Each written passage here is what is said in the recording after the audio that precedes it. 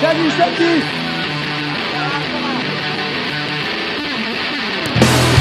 a pályáról. Hát a pályatalaja megnehezítette a játékot, de úgy gondolom fegyelmezettek voltunk, próbáltuk betartani, amit a mester kért tőlünk. Igazából ennyi mindenki kihajtotta magát, felkészülésnek ebbe a szakaszába egyelőre, ez a legfontosabb. Hogy érzed, erősödött a csapat az új játékosokkal? Alakulunk, belső védőbe jönnek folyamatosan a próbajátékosok, szerintem javulunk folyamatosan.